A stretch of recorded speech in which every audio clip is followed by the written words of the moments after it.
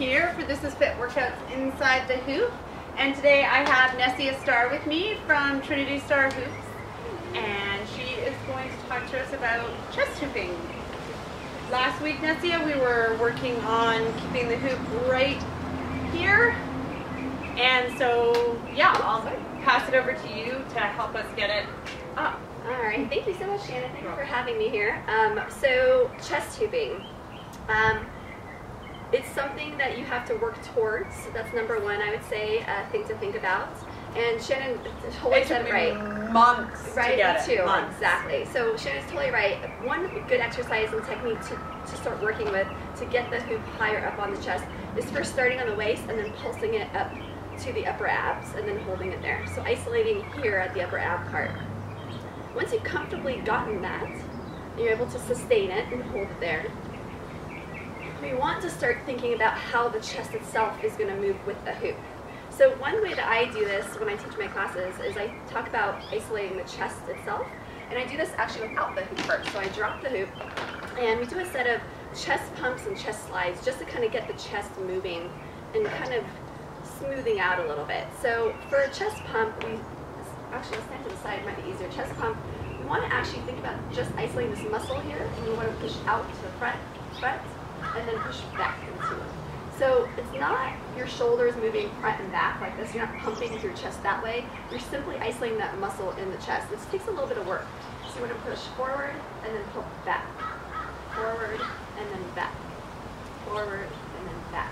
And what you'll probably notice or experience in the beginning is a very slight movement. You're not going to see a big jolting front and back. If you're doing that, you're really, again, you're concentrating mostly on your shoulders, not your actual chest muscle.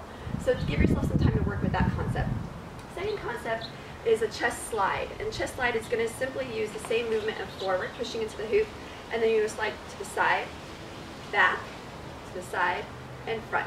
So if your current is naturally, let's say, to the left, you're going to go forward, slide to the left, slide back, slide to the right.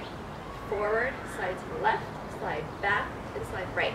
So eventually coming into this kind of movement where your chest is almost like it's um, on a track, right? Mm-hmm. Kind of on a track, and it's circulating like this. And your hoop is going to be in the same rotation as your chest is moving, right? So that if you think about the current of the hoop, the way the hoop is moving, you want to start moving with that same current, so pushing into the hoop in the same direction.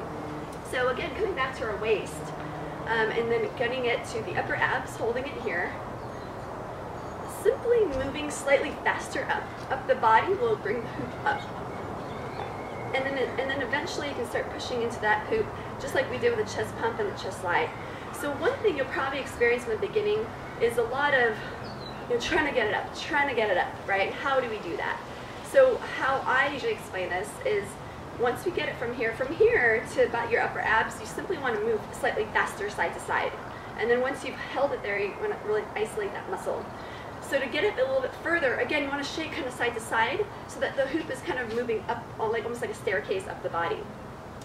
So up like this, right? And as a beginner, you might be doing a lot of chest pumping more than chest sliding, simply because it's a little bit more challenging to get that unique movement going in the beginning. But I really encourage you to definitely bring your arms up above the head, or at least out so that you're not knocking your hoop with your elbow, right? That happens a lot. Getting up. Now, actually what I just did there is a little simulation of what it can help you as a new hooper getting the hoop actually up there. So if you can't, if you're not comfortable moving from side to side swiftly going up, then you can actually kind of bend into it and push into the hoop. So here we are in our waist, here we are in our upper abs. I want to time it so that the hoop is on the right side. Again, I'm going to the left, the current to the left. I want to dip down with my knees and push up into the hoop. Now, this movement has to happen pretty quickly, okay? So you can't, what you don't want to do is go from keep doing, keep pushing into the hoop if it's not successfully going up. So you want to kind of set it up so that it's always on your upper abs, wait for the timing, dip with your knees, and push up in one big swoop. And again, once it's up here, you can start using chest pump, pumping front to back, or chest slide, sliding with the hoop. Now, the movement also, another thing to think of as I turn around and sit it back, my back is doing just as much movement as my front. A lot of times in the beginning, we tend to compensate by only using one portion of our body. So for example, you might only see yourself pushing up with the chest, and in that case, that could be useful for angle hooping. But for now, just to get the movement, we want to really accentuate each point of contact with the hoop. What I found really helpful, um, because I learned and did mostly just pumping with my chest, was again to get my feet really grounded Yeah. and focusing on the chest and all of the touch points. So noticing that it's actually everywhere that's touching. It's my chest, it's my side, it's my back, it's my side. That there are those contact points Yes. that happen. Yeah. I love that. And actually, another thing that's really, really useful is too is ground, like you said, grounding yourself and bringing yourself into the hoop. So if you feel like you're losing control a little bit, you dip into it a little bit and really ground your feet into the earth. That's another really great way to keep those points in check, Mhm. right? Yeah.